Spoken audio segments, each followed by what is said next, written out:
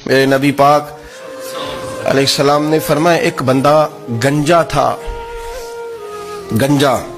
कोई तरतीब आगे पीछे हो जाए तो मफहूम के लिहाज से, लेकिन मैं मफहूम उसका वाजे करता हूँ। एक गंजा था, कोई शय नहीं थी, सर पे बाल भी नहीं थे, रोया करता था। अल्लाह ताला ने फरिश्ते को भेजा, तुझे क्या चाहिए? तो कहने लगा, बाल आ जाए और थोड़ा माल आ जाए। फरिश्ते ने हाथ फेरा तो बाल भी आ गए तो बकरियाँ भी आ गई, लाइनें लग गई, माल ही माल हो गए दूसरे के पास गया, वो कोड़ा था। उसको जाके कहा, क्या चाहिए? कहने लगा, शिफा हो जाए और कुछ अल्लाह ताला आसानी कर दे। शिफा भी हो गई, गाय भी दे दी, भैंसे भी दे दी, माल ही माल हो फिर एक के पास गया, वो अंधा था। तुझे क्या चाहिए? उसने कहा, आँखें मिलने और कुछ साथ अल्लाह माल दे दे। ऊँट ही ऊँट हो गए।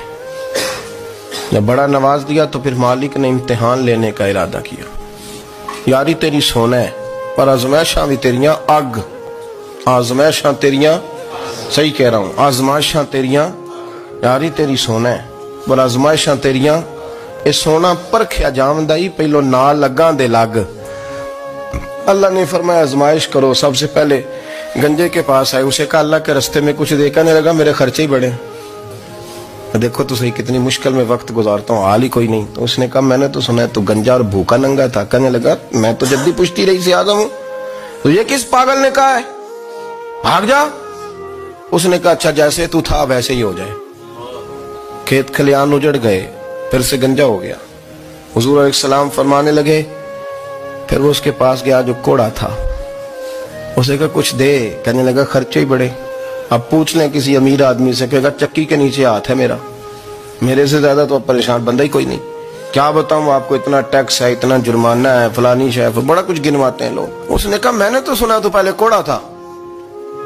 उसने कहा अच्छा दौड़ जा, मैं तो रईस आज़म हूँ, दादा भी, परदादा भी और सारी नस्ल ही।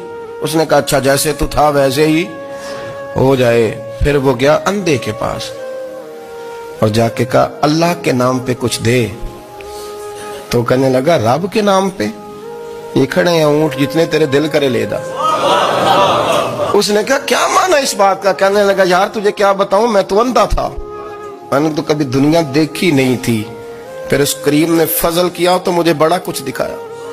मैं क्या बताऊँ, मेरा दिल कर रहा कह दूँ कि फिर उसने काबा दिखाया, फिर उसने रोजा रसूल दिखाया,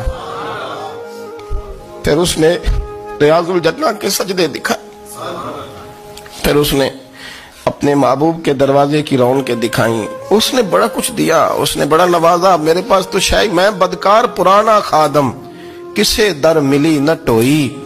इतने वासफ यार ने नज़र जो की थी फिर वासफ वासफ ही हुई। ये तो उसका कर्म हुआ तो ये वो कहने लगा, तू अल्लाह के नाम पे जान मांग, मैं वो भी देने को तैयार मेरे पास तो शय कोई नहीं थी, मुझे तो अपना पता है।